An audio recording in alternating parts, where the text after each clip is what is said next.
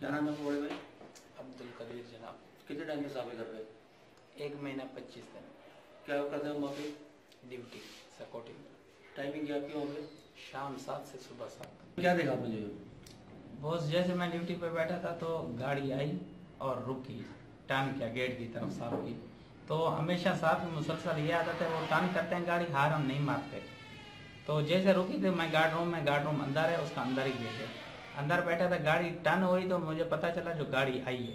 मैं उठा, उल्टी साइड में मेरे गन थी हाथ में, बारह को रफीडन जब वहाँ पे मैंने गेट खोला, दो गेट हैं, दोनों अंदर खुलते हैं। जब मैंने एक, जब मैंने एक ही गेट खोला, अभी टक, मैंने उसी गेट को खोला टक टक टक आवाज़ आई फायरिंग की।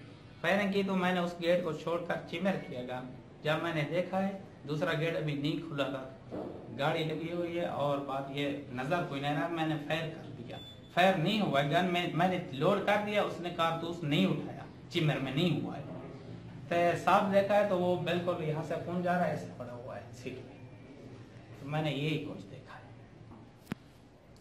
बात ये, जो गन है, जब से मैं आया, हम खाली मैगजीन निकाल के चेक करते थे, मैं दिन वाले को चेक करके देता था। और दिन वाला रात को मुझे देता था। और ना फायर का कंपनी ने हमें एतराज़ किया है जो निकाल कर देखो, चेक करो।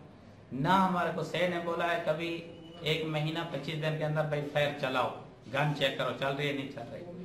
तो हम उठाकर बैठे होते थे। जिस टाइम मैंने चलाया है, उस टाइम वाकई के दौरान तो उसने चिमर नहीं किया, मैंने दो बार चिमर मारा है। तो चिमर नहीं हुई उसने कारतूस राउंड उठाए पाँच राउंड जो है गन के मैगजीन में।